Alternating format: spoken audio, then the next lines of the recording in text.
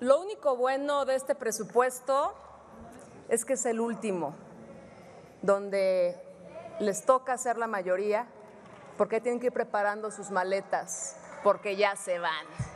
Con el permiso, Presidenta, buenas noches, compañeras, compañeros. Yo no sé a ustedes, pero yo estoy convencida que la mayoría de las mexicanas y de los mexicanos nos gusta defender a la tierra que nos vio nacer. Nos gusta defender a la tierra que le debemos todo. Y en el caso de las y de los jaliscienses, nos gusta que a Jalisco se le respete.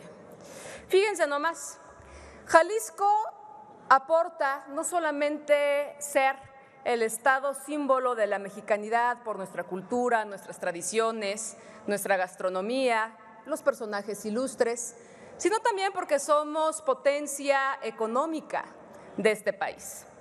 Porque Jalisco representa nada más y nada menos que más del 7% del Producto Interno Bruto de México.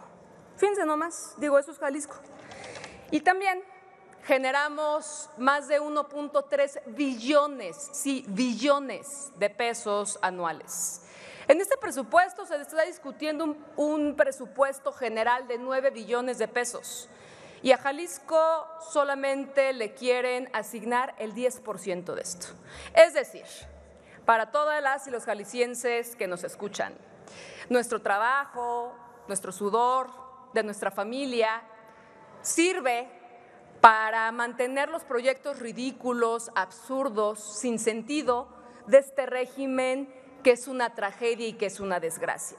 Hace un par de minutos vimos cómo la mayoría de Morena y sus aliaditos, los partidos satélite, hicieron la peor traición que hemos visto, votar en contra del pueblo que hoy, hoy está siendo lastimado como lo es el pueblo de Guerrero.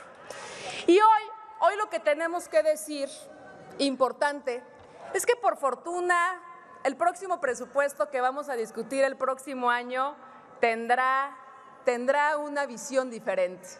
Porque sí la esperanza sí cambió de manos.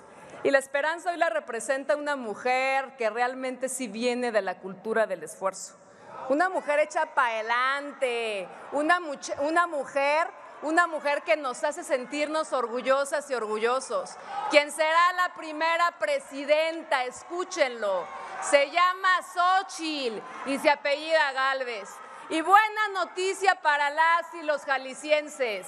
El próximo año tendremos a la primera gobernadora de Jalisco, quien sabrá defender a nuestro estado, quien sabrá poner el pecho por nuestra gran tierra. Por fortuna esa mujer será del gran frente de Jalisco, esta gran coalición.